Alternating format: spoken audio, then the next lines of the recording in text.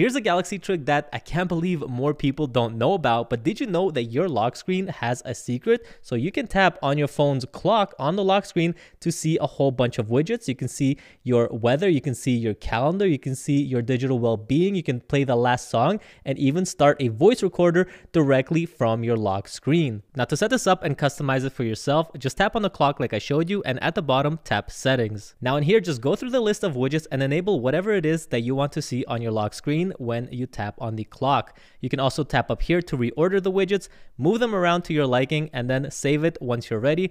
And that's it. You're pretty much good to go. Let me know what you think in the description below and check out my YouTube for more.